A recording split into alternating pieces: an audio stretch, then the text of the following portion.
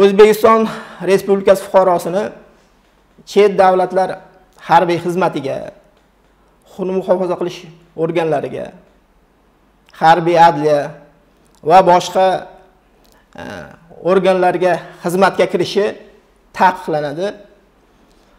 E, bunday xizmatga kirish o'zbekiston respublikasi jinoyat kodeksining bir yuz ellik to'rtinchi prim bir moddasi bilan jinoiy javobgarlikka tortilib besh yilgacha ozodlikdan mahrum qilish jazosi tayinlanadi.